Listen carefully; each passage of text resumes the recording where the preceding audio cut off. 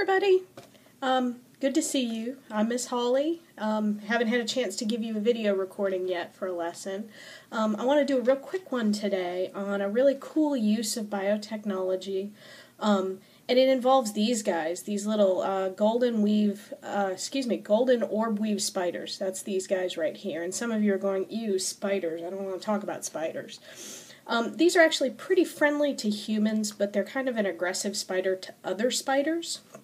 Um, and the reason why they're important is because they weave a really fantastic web, and that web includes a drag line, and that's what you see here. This line that goes all the way around the outside of the web is called the drag line. And that drag line is super important because it's really strong. And it turns out that drag line is as tough as um, a piece of steel that's been spun out to the same thickness as that drag line right there. So spider silk is really, really strong and really, really flexible.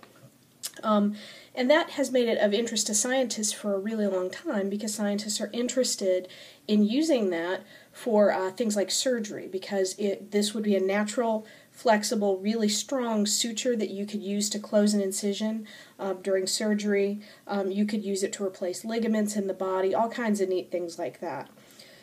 The problem is, how do you get this spider silk that we need? And unfortunately, because these spiders are aggressive to one another, um, it's not a good idea to go ahead and try to do a spider farm operation.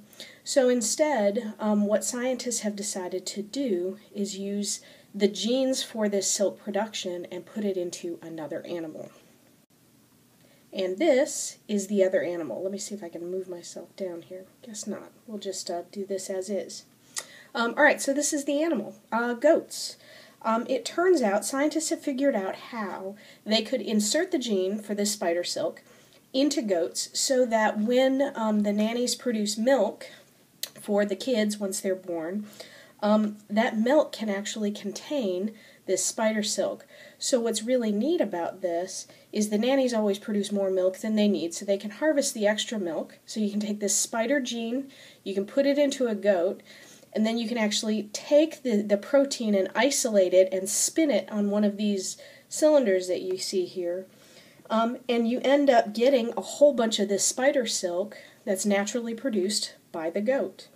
It turns out that only four drops of this goat milk from these genetically modified goats will produce up to four yards of silk. So you can actually get a lot of, of spider silk out of these goats. And there's absolutely no health risks to the goats.